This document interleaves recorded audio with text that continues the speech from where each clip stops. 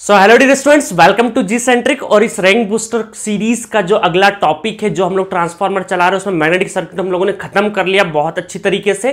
जितने क्वेश्चन कराए हैं, वो आप बहुत अच्छे से करिएगा। उसमें सारे कॉन्सेप्ट लगभग लगभग मैंने कवर कराने की कोशिश करी है। सेकेंड टॉपिक आता है हमारा eddy current loss and hysteresis loss असल में क्या होता है, जब ट्रांसफार्मर का ये कोर है, ये क्या दे रखा है आपको? कोर दे रखा है ट्रांसफार्मर का, और ये किससे बनता है? सीआरजीओस मटेरियल या हाईली फेरोमैग्नेटिक मटेरियल भी बोल सकते हैं हम लोग। तो ये कोर बनता है। ये कैसे बनता है? फुल कोर्स में डिटेल वर्जन में बताऊँगा इसका पूरा मैन्युफैक्चरिंग डिज़ाइन ठीक है? इसके ऊपर, इस कोर के ऊपर हम लोग वाइंडिंग को वाउंड करते हैं। एक प्राइमरी वाइंडिंग एक सेकेंडरी वाइंडिंग वाउंड करेंगे, ठीक है? वाउंड करने के बाद जब हम लोग इसको ऑपरेशन में ले जाएँगे, इधर सप्लाई देंगे करेंट आएगा और इस वाले कोर से क्या ट्रेवल करेगा? फ्लक्स ट्रेवल करेगा। फ्लक्स का फ्लो होगा जब इस कोर से तो कुछ लॉसेस होंगे। उन लॉसेस को हम क्या बोलेंगे? क्योंकि कोर से कोर के बेस्ड लॉसेस है इस वजह से इन लॉसेस को क्या बोलेंगे हम लोग?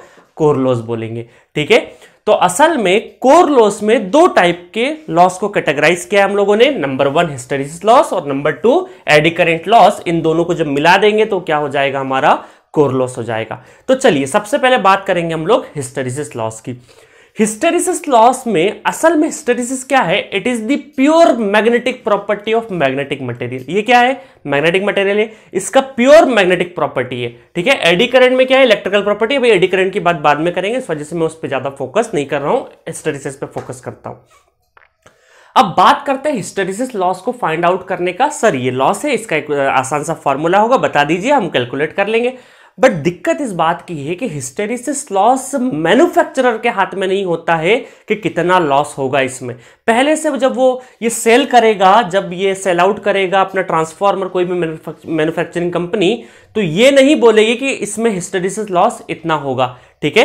ये नहीं बोलेगी हिस्टेरिसिस लॉस पूरा का पूरा डिपेंड करेगा कस्टमर के हाथ में कि वो कौन से वोल्टेज और कौन सी फ्रिक्वेंसी पे इसको यूज़ कर रहा है। उसके बेसिस पे पता लगेगा कि उसमें कितना लॉस हो सकता है। तो ये पूरा पूरा डिपेंड करेगा हमारा कस्टमर के हाथ में कि वो कौन से पॉइंट्स पे उसका जो ऑपरेटिंग पॉइंट है वो क्या है।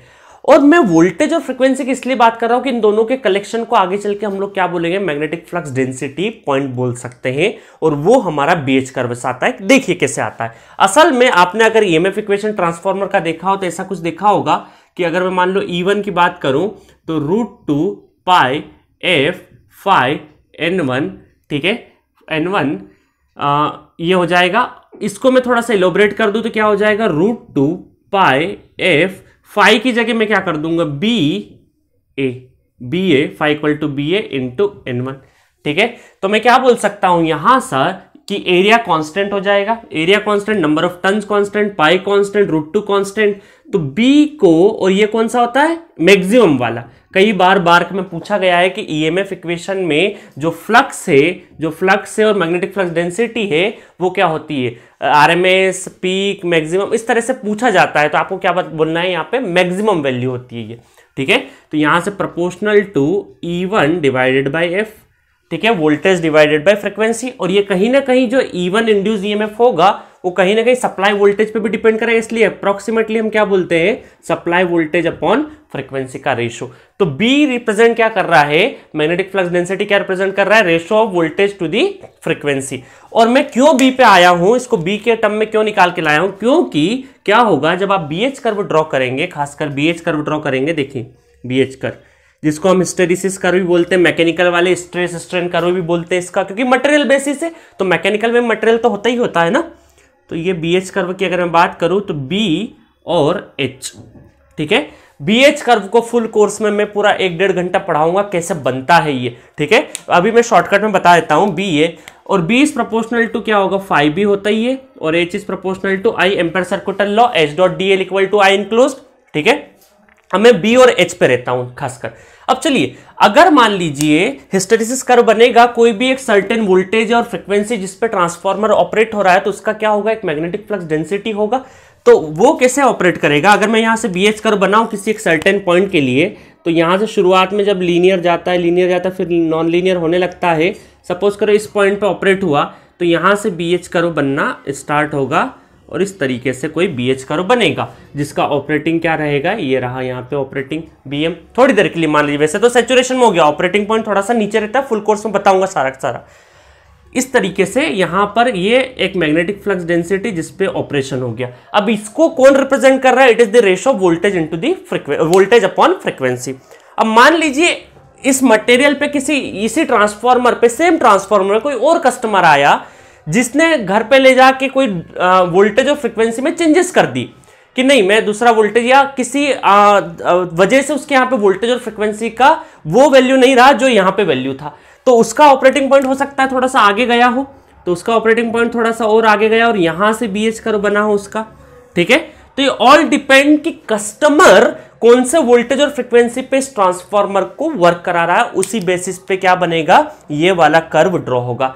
तो अब मैं आपको बात बता दूँ कि यहाँ पर अगर मुझे हिस्टेरिसिस हिस्टेरिसिस का कुछ फॉर्मूला अगर प्रिडिक्ट करना भी पड़े तो मैं क्या कर सकता हूँ? Hysteresis loss equal to area of B H area of B H इस बी एच कर्व का जो एरिया है, वो into volume of iron volume of iron volume of iron काय में होता है ये? मीटर क्यूब में होता है, ठीक है?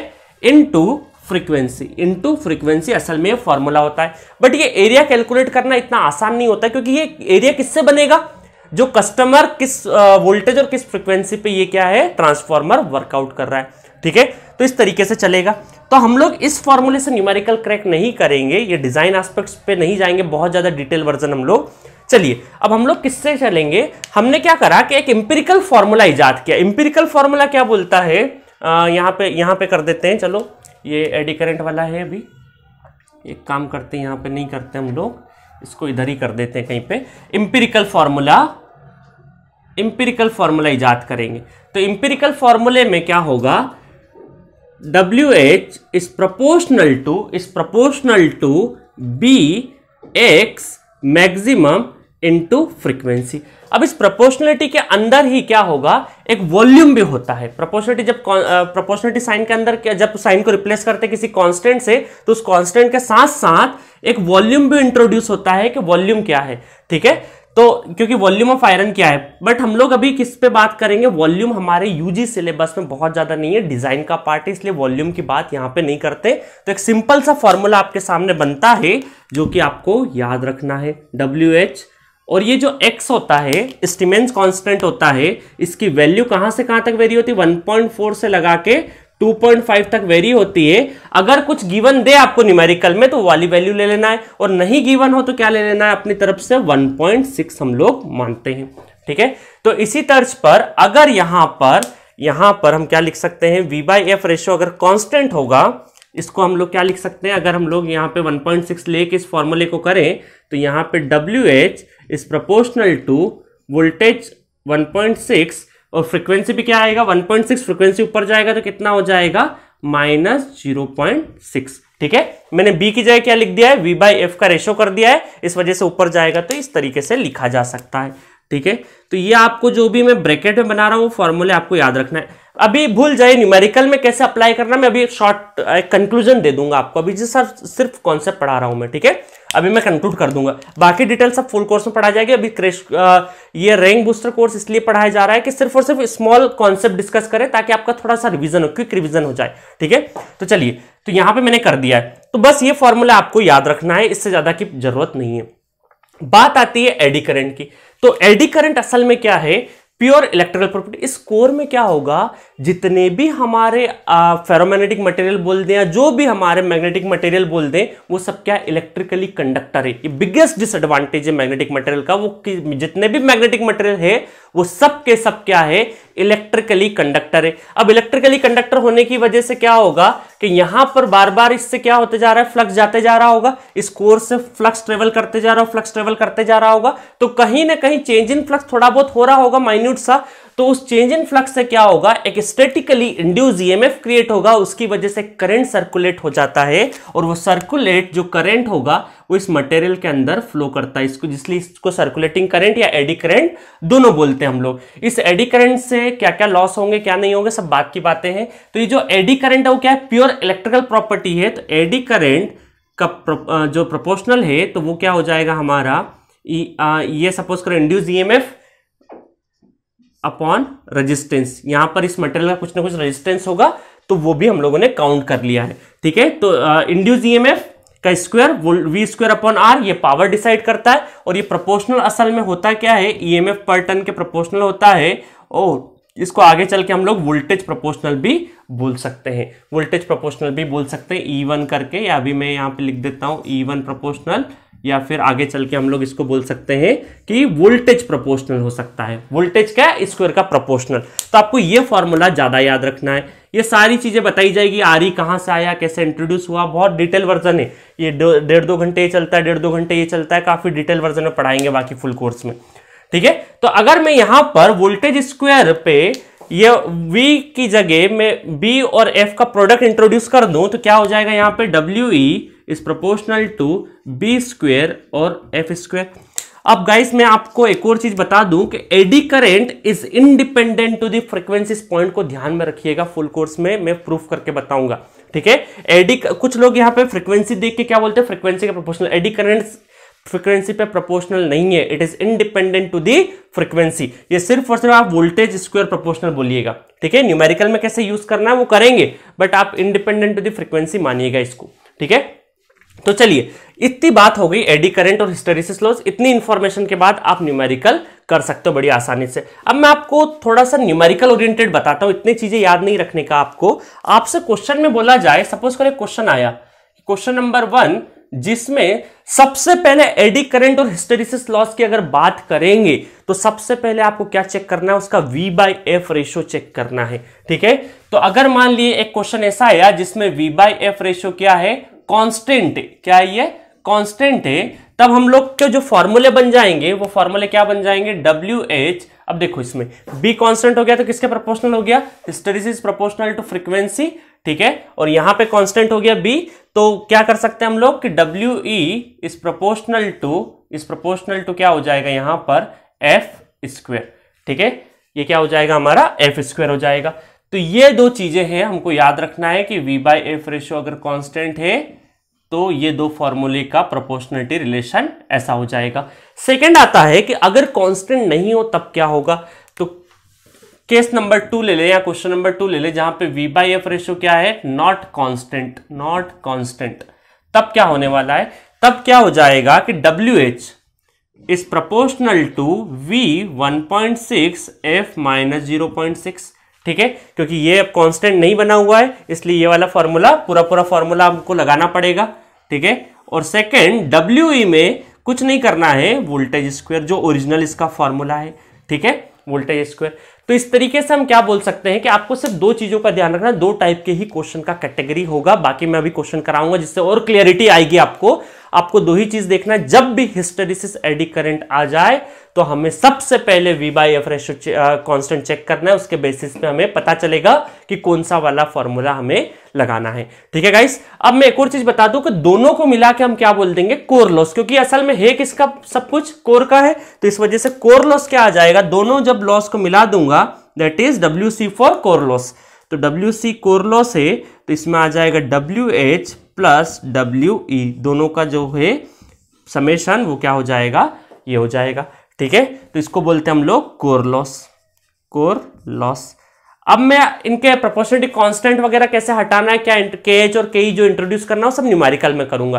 तो इतना थ्योरी आपको पता होना चाहिए कोर लॉस हिस्टोरिसिस लॉस और एडी करंट इस साल मेरी श्योरिटी है, या मुझे ऐसा लग रहा है कि इस साल क्वेश्चन आएगा, क्योंकि पिछले दो तीन सालों से इस टॉपिक को टच नहीं किया, उसके पहले काफ़ी आए हैं क्वेश्चन तो इस बार काफ़ी पॉसिबिलिटी है कि इन दो टॉपिक से क्वेश्चन आए हिस्टोरिसिस या एडी करेंट या फिर कोरलोस इन तीनों को मिला के हो सकता है कि एक क्वेश्चन इस बार गेट 2020 में आए। तो चलिए, जल्दी से हम लोग क्वेश्चन डिस्कस कर लेते हैं इनके ऊपर कि दोनों के ऊपर क्वेश्चन किस तरीके से होंगे और आपको कितने कम टाइम में और कैसे थॉट देना है क्वेश्चन के ऊपर, वो डेवलप करते हैं। सो गाइस चलिए बढ़ते हैं हम लोग क्वेश्चन नंबर फाइव चार हम लोग क्वेश्चन कर चुके हैं हमारे मैग्नेटिक सर्किट वाले टॉपिक में। क्वेश्चन नंबर फाइव से स्टार्ट हो रहा है। देखिए, बहुत इजी क्वेश्चन है। आप में से बहुत लोग इसको देख के ही क्रैक कर देंगे बट एग्जामिनेशन में जब इस टाइप के क्वेश्चन आते हैं तो बेसिक कॉन्सेप्ट में कहीं ना कहीं मिक्सिंग होके या कंफ्यूजन होके जल्दबाजी में खासकर इस टाइप के क्वेश्चन गलत होंगे। इंटेंशनली गलत नहीं होंगे, आप टिक ज़रूर लगाएँगे बट जल्दबाजी में कई बार ये क्वेश्चन गलत हो जाते हैं। पढ़िए question for a single phase transformer the supply frequency and voltage are both increase by ten percent voltage and frequency दोनों टेन परसेंट से इंक्रीज कर रहे हैं। The percentage changes in hysteresis loss and eddy current loss respectively are आपको percentage change के बताना है eddy current और हिस्टेरिसिस में जब वोल्टेज एंड फ्रीक्वेंसी दोनों 10 परसेंट से इंक्रीज कर रही है। ठीक है गाइस तो चलिए देखते हैं हम लोग और सारे के सारे देखिए, जो भी है, कुछ माइनस साइन है, कुछ प्लस साइन है, कुछ माइनस माइनस दिखाई देंगे, क्योंकि चेंजेस हुआ है तो वो इंक्रीज भी हो सकता है डिक्रीज भी हो सकता है। तो हम लोग कॉमन सेंस लगाना, अगर इंक्रीज हो रहा है तो पॉजिटिव वाला आंसर लगाएँगे और डिक्रीज हो रहा होगा तो नेगेटिव वाला आंसर लगाएँगे। तो चलिए, अगर यहाँ पर वोल्टेज और फ्रीक्वेंसी वोल्टेज और फ्रीक्वेंसी दोनों ही 10 परसेंट से चेंज और इसका मतलब क्या है? V बाई एफ़ का जो रेशियो है वो क्या है? कॉन्स्टेंट है। V बाई एफ़ का रेशियो क्या है? कॉन्स्टेंट है। तो यहाँ पर हम क्या बोल देंगे? Hysteresis loss is proportional to F directly बोल सकते हैं। प्रोपोर्शनल टू क्या बोल सकते हैं? एफ़ बोल सकते हैं। तो एक रिलेशन हमारा हिस्टोरिसिस का तो ये रहा। अब एडी करंट में क्या है? कुछ स्टूडेंट ऐसा बोलेंगे, sir eddy current is proportional to जब वी बाई एफ़ कॉन्स्टेंट है तो क्या कर सकते हैं हम लोग? एफ़ स्क्वायर कर सकते हैं। बट मैंने एक और स्टेटमेंट बोल रखा है आपको कि eddy current is independent to the frequency थोड़ी देर के लिए मान लीजिए। वो सब मैं चीज़ें बताऊँगा बाद में फुल कोर्स में। तो अगर यहाँ पर ये नहीं, और अगर कुछ स्टूडेंट ऐसा करे कि ठीक है, हमें फ्रीक्वेंसी से मतलब नहीं सर ने बताया कि ओरिजिनल जो फॉर्मूला आपका वो लगाइए तो ओरिजिनल फॉर्मूला कौन सा है? वोल्टेज स्क्वायर तो दोनों से आंसर सेम आएगा। ठीक है? तो यहाँ पर हम थोड़ी देर के लिए क्या करेंगे? एडी करेंट का जब फ्रीक्वेंसी वगैरह सब चेंज हो रही है तो हम लोग डायरेक्टली क्या लिखेंगे? ओरिजिनल फॉर्मूला लिखेंगे, जो कि क्या है? वोल्टेज प्रोपोर्शनल है। अब ठीक है, दोनों हो गया। यहाँ पे फ्रीक्वेंसी प्रोपोर्शनल यहाँ पे वोल्टेज स्क्वायर का प्रोपोर्शनल ठीक है? तो यहाँ पर उससे भी कर सकता है। फ्रीक्वेंसी स्क्वायर से भी करोगे आंसर में कोई चेंजेस नहीं आएगा, ठीक है? तो अब चलिए देखते हैं। शुरुआत में मान लीजिए कोई V1 कोई V1 वोल्टेज और F1 फ्रीक्वेंसी होगा और अब वो 10 परसेंट से इंक्रीज हो रहा है, इसका मतलब V2 वोल्टेज जो भी होगा, वो कितना होगा? 1.1 V1 और F2 जो भी होगा, वो कितना हो जाएगा? 1.1 F1 मतलब V1 का 10 परसेंट ज़्यादा। इस तरह से रख सकते हैं हम लोग। तो WH क्या हो सकता है? WH2 two upon W H one equal to F two divided by F one तो डब्ल्यू एच टू कितना हो जाएगा यहाँ पे? F2 कितना है? 1.1 F1 डिवाइडेड बाई F1 और into W H one तो यहाँ पे F one F one cancel तो डब्ल्यू एच टू नया जो हिस्टेरिसिस लॉस आ रहा है, वो क्या है? 1.1 times of W H one इसका मतलब प्लस टेन परसेंट से प्लस टेन परसेंट से इंक्रीज कर रहा है ये। ठीक है? इंक्रीज कर रहा है। तो अभी हमें इंक्रीज डिक्रीज तो नहीं पूछा, सिर्फ़ चेंजेस पूछा है। तो कितने से चेंज कर रहा है? टेन परसेंट से तो प्लस चेंजेस क्योंकि इंक्रीमेंट है तो इसलिए वजह से क्या लिखेंगे हम लोग? प्लस टेन परसेंट ठीक है? अब नेक्स्ट देखें अगर हम लोग, और ऑप्शन एक बार देख लीजिए। ऑप्शन क्या दे रखे percentage change in the loss and eddy current मतलब पहले वाला ये क्या हिस्टेरिसिस और ये क्या है हमारा? एडी करेंट तो एक निकालने के बाद कॉम्पिटेटिव एग्ज़ाम में जो एमसीक्यू वाले जितने भी एग्ज़ाम्स होते हैं, एक बार आप ऑप्शन चेक कर लीजिए। तो ऑप्शन चेक करते से ही आपका आंसर आ जाएगा। ऑप्शन क्या है? प्लस टेन एक ही ऑप्शन में ए आंसर होना चाहिए। बट फिर भी हम लोग एडी करेंट को चेक करेंगे। ठीक है गाइस अगर आपका आंसर यहीं से आ चुका था, क्योंकि एडी करंट कैलकुलेट करने की ज़रूरत नहीं है। हाँ बस शर्त है कि यस करेक्ट निकला हो। अगर यही गलत हो गया होगा तो फिर दिक्कत है। ठीक है? तो गेट में तो इनफ टाइम होता है तो मैं गेट के लिए तो नहीं बोलूँगा, आप चांस लीजिए। अगर टाइम है तो एक बार करके देख लीजिए, इतना कोई बड़ा कैलकुलेशन नहीं है। तो यहाँ पर W E two upon W E one equal to V two divided by V one का होली स्क्वेयर तो डब्ल्यू ई टू कितना हो जाएगा? वी टू कितना रख देंगे हम लोग? One point 1.1 v1 divided by v1 का whole square W E one इधर चले गया। तो यहाँ से डब्ल्यू ई टू कितना हो जाएगा? ये लगभग 1.21 इसका स्क्वायर करेंगे हम लोग 121 11 का स्क्वायर तो पॉइंट लगा दिया हम लोगों ने डब्ल्यू ई वन। तो ये कितना हो जाएगा? 21 परसेंट ट्वेंटी वन परसेंट क्या हो जाएगा? इंक्रीज हो जाएगा, इसलिए option A is the correct answer तो आप में से बहुत सारे स्टूडेंट्स ये क्वेश्चन कर रहे थे बट मुझे एक क्लियरिटी देनी थी वी बाई एफ़ में क्या होता है असल में। ठीक है गाइज़ आई होप आपको समझ में आया हो क्वेश्चन हम जल्दी से नेक्स्ट क्वेश्चन देखते हैं हम लोग। सो नेक्स्ट क्वेश्चन दिख रहा होगा आपको क्वेश्चन नंबर सिक्स बहुत बड़ा सा क्वेश्चन और ये जब आपकी गेट के असल एग्ज़ाम में जब आपकी स्क्रीन खुलती है तो उस पर भी बहुत बड़ा दिखाई देता है ये। ठीक है? आपको बहुत बड़ा दिख रहा होगा स्क्रीन के ऊपर और बड़ा दिखाई देता है तो आपको घबराने की ज़रूरत नहीं। ऐसे क्वेश्चन आप में से कई लोगों ने बहुत बार किए होंगे बट क्या होता है, उस दिन तीन घंटे में प्रेशर सिचुएशन में कई बार कैलकुलेशन एरर हो जाता है ऐसे क्वेश्चंस में। कॉन्सेप्चुअल दिक्कत नहीं आएगा, आप ट्राई करो, क्योंकि इजी कॉन्सेप्ट है। ठीक है? बट कैलकुलेशन मिस्टेक हो सकता है तो मैं अपनी तरफ़ से मैंने तो वैसे काफ़ी लोग को पता भी होगा इसमें एक तरीका है कि दो इक्वेशन को कैसे सॉल्व करना है। चलिए देखते हैं। सबसे पहले इस क्वेश्चन को अच्छे समझने, देखो मशीन और पावर सिस्टम में सबसे पहला चीज़ चाहिए आपको क्वेश्चन का अंडरस्टैंडिंग। एक बार आपको क्वेश्चन समझ में आ गया क्वेश्चन क्वेश्चन को समझने की एबिलिटी अगर आपने डेवलप कर ली तो आप क्वेश्चन बड़ी आसानी से सॉल्व कर दोगे, ठीक है? क्योंकि लूप होल रहता है, वो लूप होल पकड़ना है और आप क्वेश्चन करेक्ट कर दोगे बड़ी आसानी से। तो चलिए देखते हैं इसमें। सबसे पहले the core loss of a two thirty slash one one five दो सौ तीस, एक सौ पंद्रह volt fifty hertz transformer is measured from two thirty volt side by feeding the primary side two thirty from a variable voltage and frequency source while keeping the secondary open circuited ये किसमें होता है? Just like like हमारा open circuit test आगे पढ़ाऊँगा मैं, ठीक है? तो ओपन सर्क्यूट टेस्ट में ऐसा होता है। The core loss is measured to be 10504 तो वेरिएबल वोल्टेज और वेरिएबल फ्रीक्वेंसी है जहाँ पर एक बार हम लोगों ने क्या किया है कि अगर 230 वोल्ट और 50 हर्ट्स की सप्लाई दी है तो हमारा जो कोर लॉस है, वो कितना हो जाएगा? हमारा जो कोर लॉस है डब्ल्यू सी लॉस जो है one zero five zero loss है। कोर लॉस में अभी मैंने बता चुका हूँ एडी और हिस्टेरिसिस दोनों रहेगा, ठीक है? नेक्स्ट क्या बोला है? The input core loss is again measured to be 500 watt कितना है अगेन 500 वॉट है, और कितने पे ये? 138 volt 138 volt comma thirty hertz 30 hertz frequency पे मेजर किया है। दो बार कोर लॉस अलग अलग मेजर किया अलग अलग वोल्टेज और अलग अलग फ्रीक्वेंसी पे। तो चलिए मैं ऑलरेडी बता चुका था बीएच करो में अभी थोड़ी देर पहले कि हमारे कस्टमर के हाथ में कौन से वोल्टेज और फ्रीक्वेंसी पे ऑपरेट कर रहा है उसके हिसाब से चीज़ें चेंजेस होगी। चलिए आगे। The hysteresis and eddy current losses of the transformer core loss नहीं पूछा आपसे। क्या पूछा? अलग इंडिविजुअली पूछा। Hysteresis and eddy current losses of the transformer for 230 volt 230 volt comma 50 hertz supply के ऊपर बताइए कि इसमें कोर लॉस नहीं पूछा है। कोर लॉस में क्या है? हिस्टेरिसिस प्लस एडी करेंट दोनों है तो वो इंडिविजुअली आपसे पूछा है। अल्टीमेटली दोनों को प्लस करेंगे तो कोर लॉस ही होगा। तो ये क्वेश्चन है। तो क्वेश्चन इस तरीके से हम लोगों ने क्या कर लिया? डिकोड कर लिया। चार ऑप्शन, अब क्वेश्चन पढ़ने की ज़रूरत नहीं है। आपको दो केस दे रखे थर्ड केस को निकालना है। अब सबसे पहला मैंने तरीका बताया था V by F ratio constant है या नहीं है, पहले ये चेक कर लीजिए। तो यहाँ पे अगर टू थर्टी बाई फिफ्टी करेंगे तो फोर पॉइंट सिक्स इन दोनों को करेंगे फोर पॉइंट सिक्स है ना? Two thirty divided by fifty तो that is four point six इन दोनों को करेंगे तो भी फोर पॉइंट सिक्स और इन दोनों को करेंगे तो भी क्या आ जाएगा 4.6 इसका मतलब क्या है यहाँ से कि v by F ratio v by F ratio क्या है? कांस्टेंट ठीक है वी बाई एफ़ रेशो क्या है? कॉन्स्टेंट है। चलिए, अब जल्दी से हम लोग क्या कर लेते हैं कि अगर ये कोर लॉस है कोर लॉस तो ये यहाँ पे W W H plus W E का समेशन है।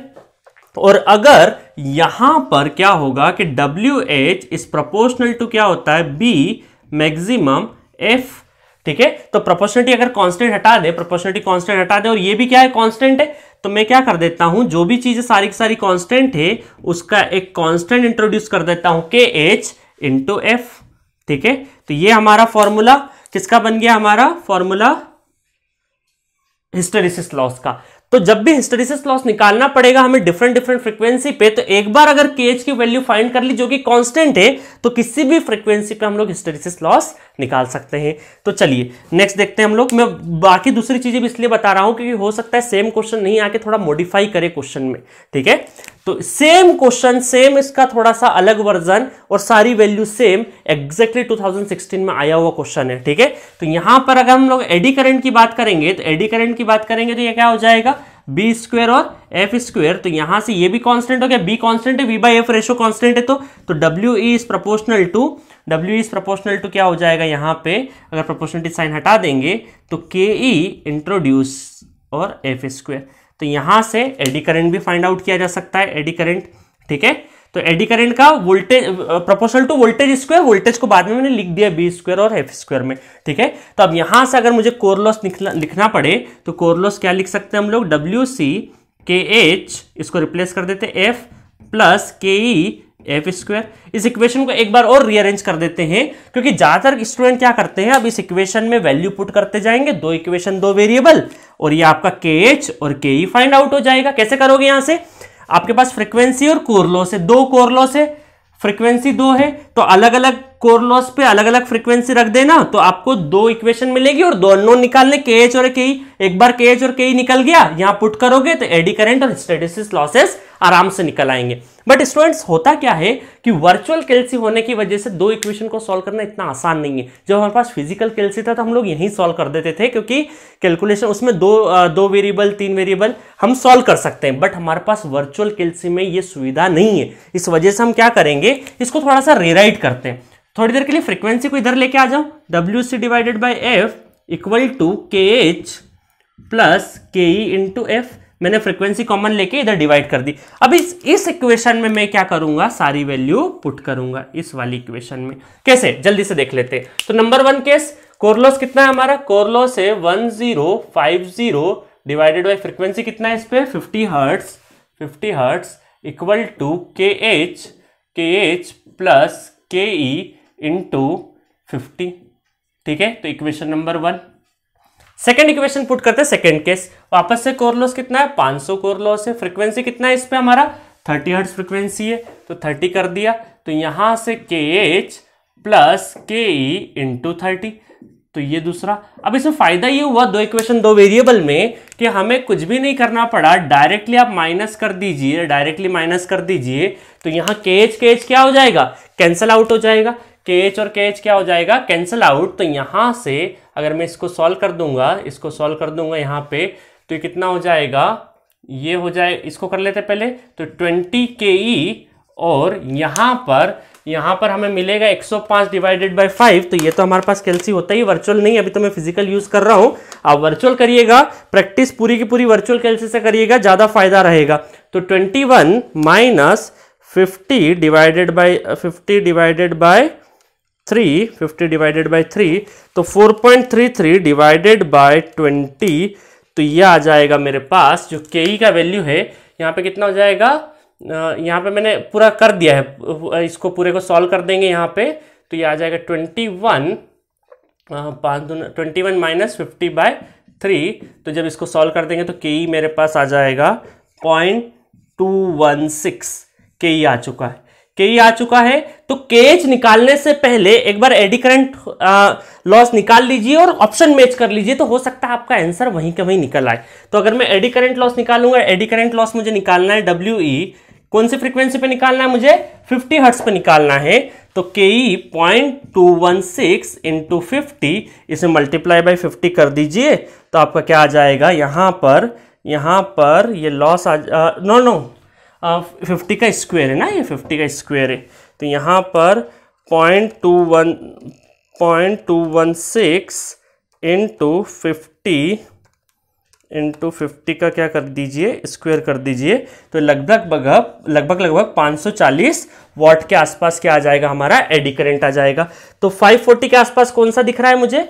552 नहीं, ये नहीं। ये वाला ऑप्शन पढ़ लीजिए क्वेश्चन में। हिस्टेरिसिस एडी पहले हिस्टेरिसिस बाद में एडी है। इसका मतलब 542 अप्रोक्सीमेटली दे रखा है। क्योंकि ये जो आएगा, इसका बहुत वैल्यू आगे तक भी है। तो उसकी वजह से अप्रोक्सीमेट आंसर आएगा। ऑप्शन गिवन है आपके पास। बड़ी आसानी से आप चेक कर सकते हैं। तो यहीं से आप टिक कर सकते हैं कि ए ऑप्शन आएगा आंसर। ठीक है, आपको ये निकालने की ज़रूरत नहीं, फिर भी अभी निकालेंगे। एग्ज़ाम में नहीं निकालना आपको दो दो को, क्योंकि कई बार चार ऑप्शन को आपको कॉमन सेंस बेसिस क्वेश्चन होता है कि आप कॉमन सेंस लगाइए और डायरेक्टली ऑप्शन टिक करिए। ठीक है तो चलिए देखते हैं हम लोग। एडी करंट अगर यहाँ पे इसको पुट करेंगे तो ये कितना हो जाएगा? इस इक्वेशन में पुट कर रहा हूँ मैं। तो यहाँ पर twenty one equal to K H plus fifty into point two one six तो ये आ जाएगा हमारा twenty one minus fifty into point two one six तो आ जाएगा के एच आ जाएगा ten point two K H कितना आ गया? टेन पॉइंट टू और हिस्टेरिसिस लॉस कितना आ जाएगा? W H ten point two into कौन सी फ्रिक्वेंसी पे निकालना है? फिफ्टी पे निकालना है।